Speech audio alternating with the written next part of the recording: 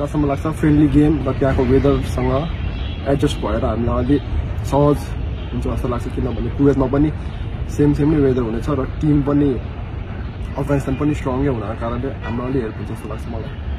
FC Asian cup छनौटको तयारीमा रहेको नेपाली राष्ट्रिय फुटबल टिमले अफगानिस्तानसँग दुई मैत्रीपूर्ण खेल खेल्ने भएको छ।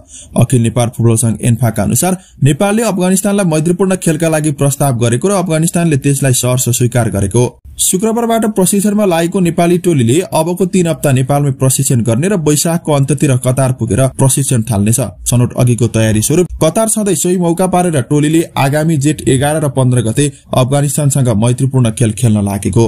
यसै विषयमा नेपालका भरपर्दा युवा फरवार्ड मनिष डाङ्गेले अफगानिस्तानसँग कतारमा मैत्रीपूर्ण खेल खेल्न पाउनुले एसियन कप छनौट अघि आफूहरूलाई राम्रो सहयोग पुग्ने बताएका छन्। अब हामी कतार पनि जाँदैछौँ क्याम्पको लागि र त्यहाँनिर हामीले फ्रेन्डली गेम पनि खेल्नु भएको छ। अफगानिस्तान पनि स्ट्रङ्गै हुनाको कारणले हाम्रो अलिक हेल्प हुन्छ जस्तो लाग्छ मलाई। उनले कतार र एसियन कप छनौट हुने स्थान कुवेतको मौसम समान हुनु र अफगानिस्तान बलियो प्रतिद्वन्दी रहेकाले पनि प्रतियोगिता अघिको तयारीमा राम्रो मद्दत पुग्ने धारणा राखे। जहाँसम्म लाग्छ फ्रेन्डली गेम र त्यहाँको वेदरसँग एडजस्ट भएर हामीलाई अलिक सहज हुन्छ जस्तो लाग्छ। किनभने कुवेतमा पनि सेम सेम नै वेदर हुनेछ र टिम पनि अफगानिस्तान पनि स्ट्रङ्गै हुनाको कारणले हाम्रो अलिक हेल्प हुन्छ जस्तो लाग्छ मलाई। यसबाहेक मनिषले नेपाल रहेको समूहमा कुवेत जोर्डन र इन्डोनेसिया जस्तो बलियो टोली रहेकाले अहिले फिटनेसलाई ध्यानमा राख्दै प्रशिक्षक अब्दुल्ला अल्मुतारीले प्रशिक्षण गराइरहेको बताएका छन्। ग्रुपमा एकदम एकदम स्ट्रङ टिमहरू पनि रहेकोले हामीले अहिले अलिक फिटनेसमा ध्यान दिइरहेको छौँ।